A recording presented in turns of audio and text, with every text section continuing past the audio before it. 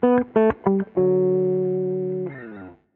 name is Katie Greenstreet. I work at C&W um, in London. Um, I recently came to C&W from ICM Partners in New York City. We have agents that represent everything from middle grade to very, very literary fiction. Um, we also do a lot of nonfiction as well.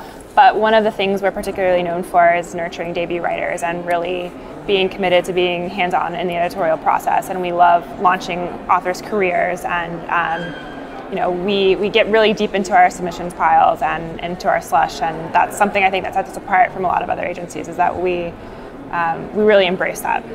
I myself am very interested in YA, um, and I also love um, reading more upmarket uh, commercial fiction. Um, I am open to, to, taking on literary fiction as well, um, but uh, I'm a little bit more commercial minded in that regard. Um, and anything that would be, you know, a great book for your next book club um, is what I'm into. But not, I don't read much nonfiction, and not looking to take that on at the moment. Big Yes is just a really unique voice. Um, I love quirky narrators. Um, something that I just haven't seen before will always pull me in. Um, and in, terms of synopses, just being able to read one page and, and, know that the author really knows what their book's about. Um, I know writing a synopsis is so hard for authors to really condense their ideas and see the big picture.